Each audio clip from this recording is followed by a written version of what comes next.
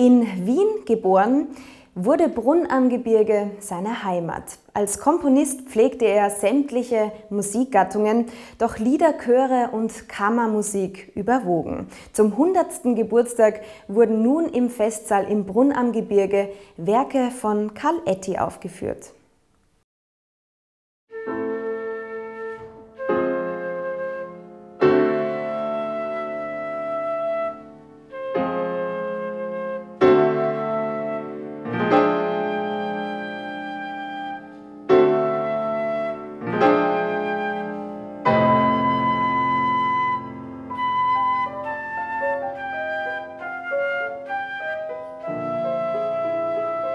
Wer war denn Karl Etty? Äh, Karl Etty ist in Wien geboren, 1912, äh, hat aber sein ganzes Herzblut hier in Niederösterreich gehabt. Er hat dann von Jahr 1945 bis zu seinem Lebensende 1996 hier in Brunn am Gebirge äh, gewohnt und war mit Herz und Blut ein Niederösterreicher, ein Brunner.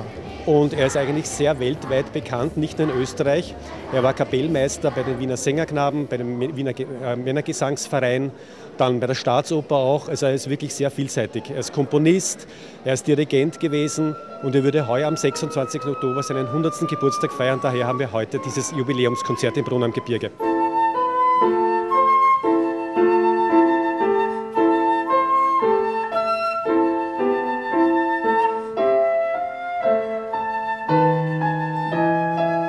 Gebirge. besonderer Tag für die Brunner und Brunnerinnen?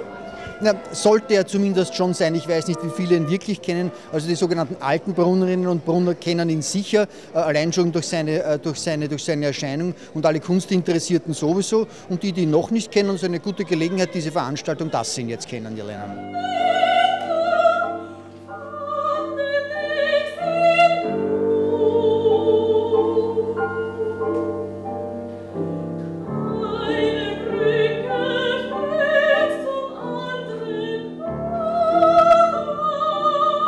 Welche musikalischen Richtungen gibt es denn von ihm? Also heute wird es einerseits sehr ernste Lieder geben, wie zum Beispiel das Schachlied, das ganz interessante Harmonien hat.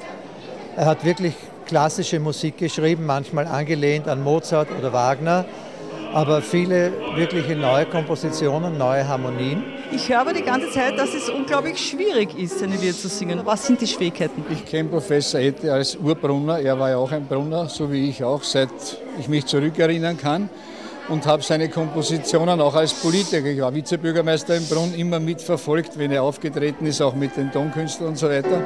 Und habe immer gemerkt, dass seine Kompositionen eben sehr schwierig gesetzt sind. Die Harmonien, sie lösen sich zwar immer wieder auf, aber sie sind einfach schwierig zu singen.